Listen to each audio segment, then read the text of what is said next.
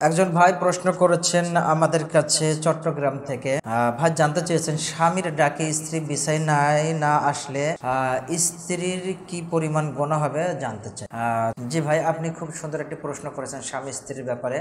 আপনারা আসলে এইভাবে যত প্রশ্ন করবেন আমরা আপনাদের প্রশ্নের উত্তরগুলো কোরআন সোনা ভিত্তিক দেওয়ার চেষ্টা করব এটাই ঠিক। ইসলাম এমন একটি জীবন ব্যবস্থার নাম যেখানে প্রশ্ন করলে এমন কোনো বিষয় নাই যে উত্তর পাওয়া যায় না। জি ভাই স্বামী স্ত্রী আসলে এই আহ, দুইটা জীবন একত্রিত হয়েই একটা পরিবার গঠিত হয় একটা সংসার পরিচালিত হয়। সংসারে সন্তান সন্তানাদি আহ, আল্লাহ দিলে পরে সেই সন্তান সন্তানাদিগুলোকে কীভাবে বড় করতে হবে কোন শিক্ষায় শিক্ষিত করতে হবে সবকিছু পরিকল্পনা স্বামী স্ত্রীর দ্বারাই হয়ে থাকে।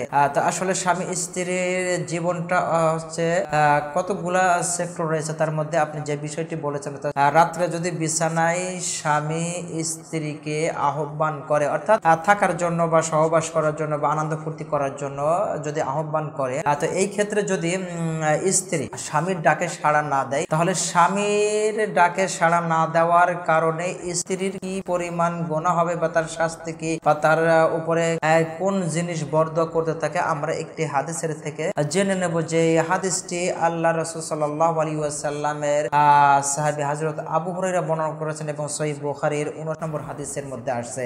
আল্লাহ রসুল সাল্লাম এই সম্পর্কে সম্পর্কে বলেছেন কি আবু হুরাইরা রাদিয়াল্লাহু আনহু ওয়া আন আবি হুরাইরা রাদিয়াল্লাহু তাআলা আনহু কল। আবু হুরাইরা রাদিয়াল্লাহু আনহু বলেন রাসূল সাল্লাল্লাহু আলাইহি ওয়াসাল্লাম ইজা দাআর একজন পুরুষ যখন আহ্বান করে, কাকে? ইমরাআতাহু, তার স্ত্রীকে ইলা ফিরশিহি, তার বিছানায় আসার জন্য, ফা আবা সে অস্বীকার করে, অর্থাৎ অস্বীকৃতি জানায়, তা এই অবস্থা অবস্থায়, অর্থাৎ একজন স্ত্রীকে যখন স্বামী তার বিছানায় আহ্বান করে, আর এই আহ্বানের ডাকে সে সাড়া না দিয়ে সে তার মতোই থাকে, অর্থাৎ তার স্ত্রীর স্ত্রী হিসাবে স্বামীর বিছানায় আসে না। তো এই ক্ষেত্রে স্বামী দেখা যাচ্ছে কি হলো যে রাগান্বিত অবস্থায় সে বিছানা ত্যাগকারী অবস্থাতেই, অর্থাৎ আলাদা বিছানায় শয়ন করে থাকল, রাত্রি যাপন করল। তাহলে এই রকম মহিলার উপর কি হবে?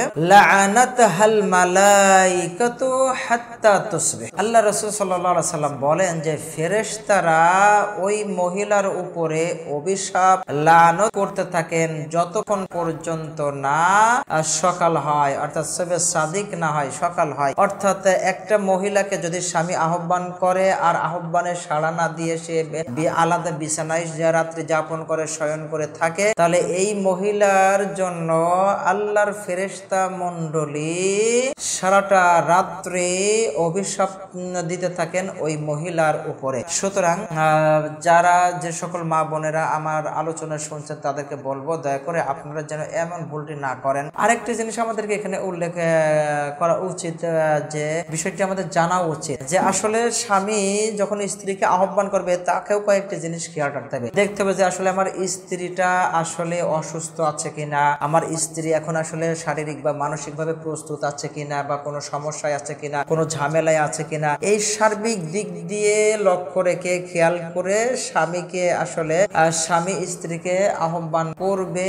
এটা হচ্ছে আমাদের পক্ষ থেকে একটা দাবি ও দেওয়া শিক্ষামূলক থাকল। যে ভাই, আপনি দেখা যাচ্ছে কোনো কিছু না জেনে, না বুঝেই আপনি শুধুমাত্র হুট করে ডাকলেন আর আসলো না, আপনি একটা রাগ করে সারা রাত থাকলেন আর আল্লাহর ফেরেশতারা আপনার স্ত্রীর উপরে গজব দিতে থাকল। এতে পরিবারে অশান্তি নেমে আসবে, পরিবারের রহমত, বরকত সব উঠে যাবে। তো এরকম কাজ যেন আমরা আসলে উভয়ে একজন আরেকজনের যেহেতু পরিপূরক, আমরা উভয়ে, উভয়ের দিকে খেয়াল রেখে আমাদের জীবন যাপন করব। আল্লাহ আমাদের তাফিক দেন তোমরা যা জানো না, তা তোমরা জেনে নাও। আল্লাহ সুবাহ এই মর্মে বলেছেন ফাস আলু আহলা জিক্রি ইংকুম তোমলা তা তাআলামুন।